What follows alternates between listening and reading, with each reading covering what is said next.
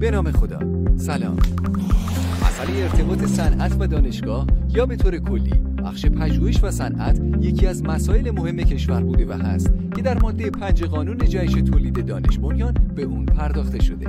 بر اساس ماده پنج این قانون دستگاه های اجرایی دانشگاه ها و مؤسسات آموزش عالی و پژوهشی می‌تونن دارایی های فکری دستاوردهای پژوهشی و حق بهره برداری از اونها رو با رضایت معلف یا صاحب ایده و فکر در اختیار شرکت ها و مؤسسات دانش بنیان.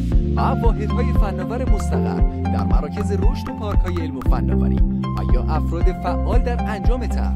اهم از اعضای هیئت علمی دانشجویان و پژوهشگران به صورت بلاعوض قرار بدن تا اونا بتونن این پژوهش ها و دارایی های فکری رو تجاری سازی کنند یا اینکه سازمان ها جهت تجاری سازی ایده ها با کارآفرینا قرارداد مشارکت امضا کنند.